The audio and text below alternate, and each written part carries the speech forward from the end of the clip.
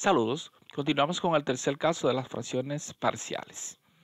Para resolver este caso, primero vamos a identificarla. Bueno, nos damos cuenta que en el denominador tenemos un factor lineal y tenemos un factor cuadrático irreducible. Cuando ocurre esto, lo que debemos hacer es lo siguiente. Acá el, numerador va a ser A para el primer factor que se encuentra en el, en el denominador. Sin embargo, acá cuando diga x al cuadrado, el denominador va a ser igual a bx más c. Es decir, que de, de los coeficientes que va a tener una x. O sea, uno de los términos tendrá una x. Y, en lugar de aparecer un solo término como en A aquí, como en el primero, tendrá, tendrá dos términos, bx más c. En caso de aparecer otro factor irreducible, hubiese sido ex más d, por ejemplo. Entonces, para resolver esto utilizamos la misma metodología que hemos utilizado siempre. Si no, eh, si no entiende esta parte, puede observar los demás videos que hemos hecho. Vamos a copiar aquí. Vamos a echar esto un poquito más hacia abajo. Eh, posiblemente tengamos que poner esto más pequeño. Entonces lo que vamos a hacer aquí es a copiar esto acá. Y vamos a ponerlo acá para que multiplique aquí. También para que multiplique aquí también. Ah, ok. Aquí y aquí. En cada, uno, en cada una de las fracciones lo vamos a multiplicar. Ahora vamos a hacer que se vea un poquito más pequeño para que podamos entender. Espero que usted pueda verlo desde allá. Bueno, está muy pequeñito ahí. Vamos a dejarlo ahí, a ese tamaño. Entonces, mira, acá, eh, esta parte de acá, voy a copiarla para que, para que puedas ver lo que, lo que te estoy explicando. Mira, x más 1 y x al cuadrado más, más x más 1 se eliminan aquí y me va a quedar simplemente el numerador. Entonces voy a eliminar todo esto acá y me va a quedar simplemente el numerador. Bien, ahora x más 1 y x más 1, uno, uno está en el, en, el numerador, otro en el denominador, se elimina y va a quedar simplemente a. O sea que aquí simplemente voy a quedarme con la a. ¿Ok? A. De este lado, en bx más c, x al cuadrado más 1, se va a eliminar x al cuadrado más 1 aquí. Esta parte se va a eliminar aquí, se va a cancelar con x al cuadrado más 1. Dame copiar esto acá. Y lo taché y se me queda así. Es decir que, bueno, déjame introducir un paréntesis para evitar confusión. Ok, entonces mira, x al cuadrado más 1 se va a cancelar con x al cuadrado más 1 y te va a quedar bx más c por x más 1. Luego eh, procedemos a, la multiplicación. Multiplicamos. Entonces aquí lo que voy a decir a por x, que va a ser a x, a por x va a ser a x eh, al cuadrado, a x al cuadrado, a por x que va a ser a x y a por 1 que va a ser a. Ya. Entonces de este lado vamos a multiplicar bx por x, que será eh, bx al cuadrado. Déjame ponerlo al cuadrado aquí, bx al cuadrado, déjame, perfecto, aquí bx al cuadrado.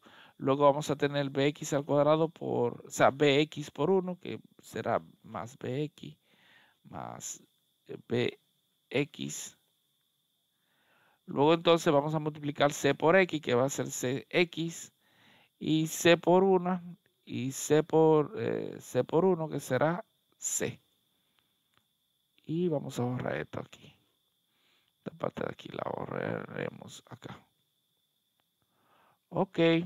Entonces, eh, si quiero borro aquí también. Voy a borrar todos los paréntesis. Ok, todos los paréntesis aquí. Bien, ahora, ahora vamos a agrupar todo lo que tenga al cuadrado. Agrupamos todo lo que está al cuadrado. O sea que es bastante sencillo esto. Todo lo que está al cuadrado. Entonces, en este caso, vamos a tener al cuadrado a x al cuadrado más bx al cuadrado. Vamos a ponerlo aquí. Ah, bueno, no se movió. Vamos de nuevo y lo ponemos aquí. Y ahora las que tienen X, es decir, que yo simplemente tengo que mover la A y ahí está todo, todo organizadito. O sea, tengo aquí AX al cuadrado, BX al cuadrado, más AX, más BX, más X, y ahora lo que no tienen X, que A y C. Entonces, no se va a quedar ni una vez sin, sin X, o sea que está bien así. Ahora lo que procede a hacer es, es eh, factorizar. Para factorizar lo que hacemos es que tenemos como factor común a X al cuadrado. Voy a, voy a hacerlo así, eh, de este lado acá, de este lado ahí y ya. Ahí tenemos A más a x al cuadrado más bx al cuadrado, el factor común es x al cuadrado. Y de este lado ax más bx más cx, cuando factorizamos, nos va a quedar aquí un paréntesis, elimino la x de acá, la x de acá, y, la, y ponemos un paréntesis aquí, vamos a tener que el factor común de ax más bx más cx va a ser x. Y acá a más c. Entonces ahora lo que tenemos que hacer es un sistema de ecuaciones de un sistema de tres ecuaciones lineales.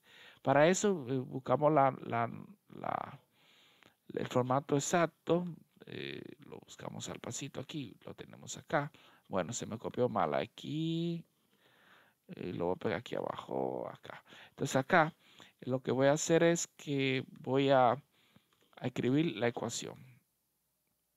Bueno, no es así en realidad tiene que tener tres ecuaciones, así tres ecuaciones. Y ahí tiene cuatro. Entonces lo que vamos a hacer es que la vamos a escribir solamente con tres. La tenemos con tres. Entonces aquí empezamos con la primera. A más B. Voy a copiar A más B. Y luego pego aquí.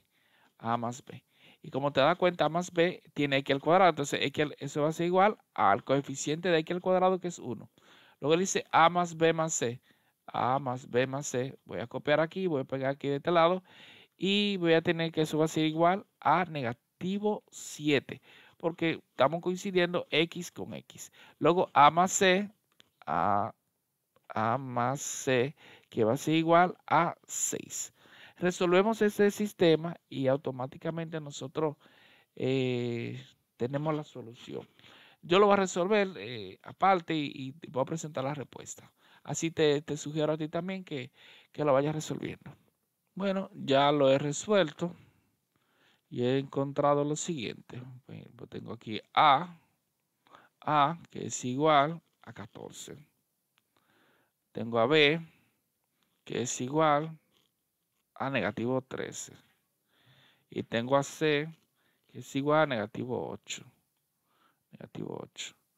¿Será eso cierto? Vamos a ver. Si doy aquí, 14 menos 8 son 6. 14 menos 3 es 1. Menos 8, negativo 7. Y 14 más negativo 3 es 1. Es decir, que es correcto.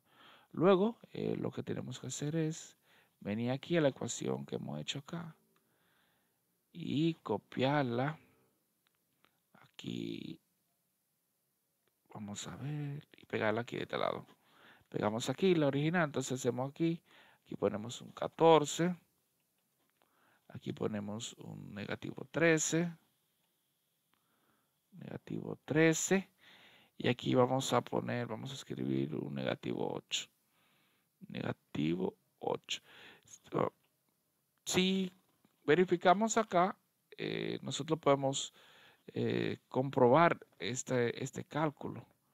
Muy bien, porque cuando nosotros tomamos esto aquí, mira, Vamos a comprobarlo, mira. Vamos a comprobar, comprobar. verificar, verificar. Mejor. Cuando tenemos aquí, este parte aquí va a pasar aquí multiplicando de este lado. Copiamos. Pasa multiplicando. Y este aquí pasa multiplicando al otro lado. No, o sea, cuando decimos eh, vamos a tener el, vamos a poner aquí de factor y vamos a poner este de este lado de factor también. Aquí. Entonces tenemos el mismo factor, o sea que esto mismo que está acá. Entonces cuando tú multiplicas 14x al cuadrado, 14 eh, por x al cuadrado más 14x más 14 por x más 1, te va a esta cantidad. Entonces ahí eh, podemos verificar si, estamos, si lo estamos haciendo bien o lo estamos haciendo mal. Entonces, vamos a ver. Entonces aquí se me está olvidando poner de este lado, escribir. Eh, de este lado va, a poner un paréntesis. Eh, de este lado va x, x más 1. x más 1. Eh, esta aquí va minúsculo.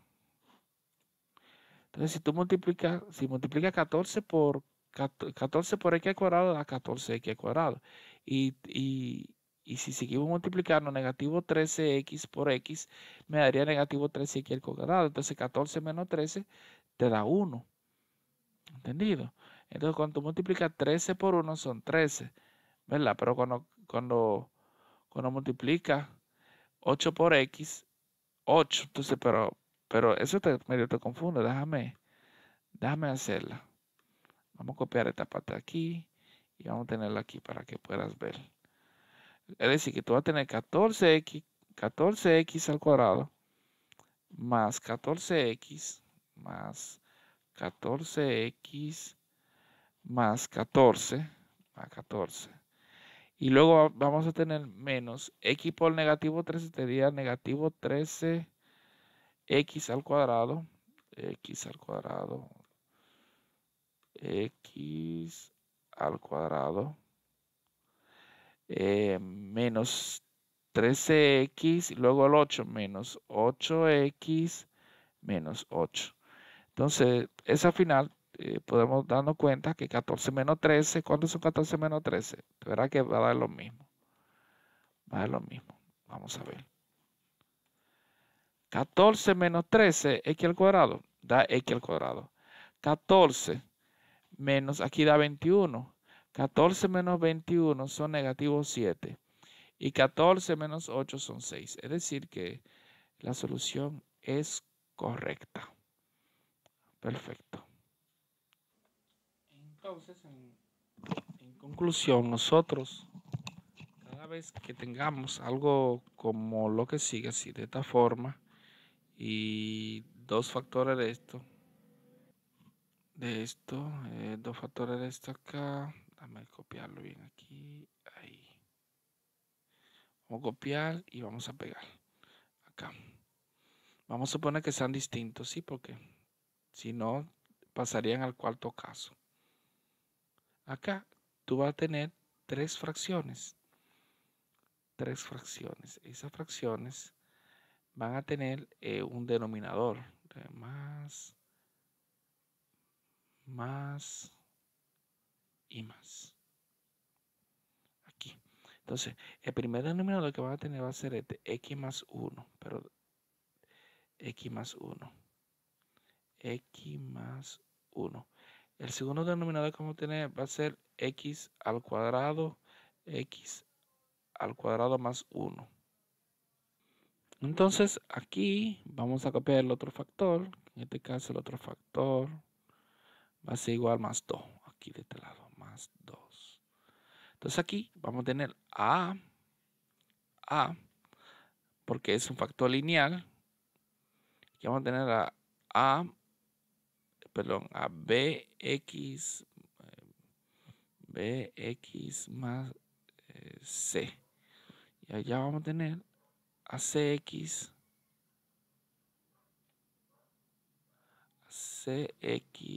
más D. Bueno, quedaría así. Se, se resuelve, se busca la solución.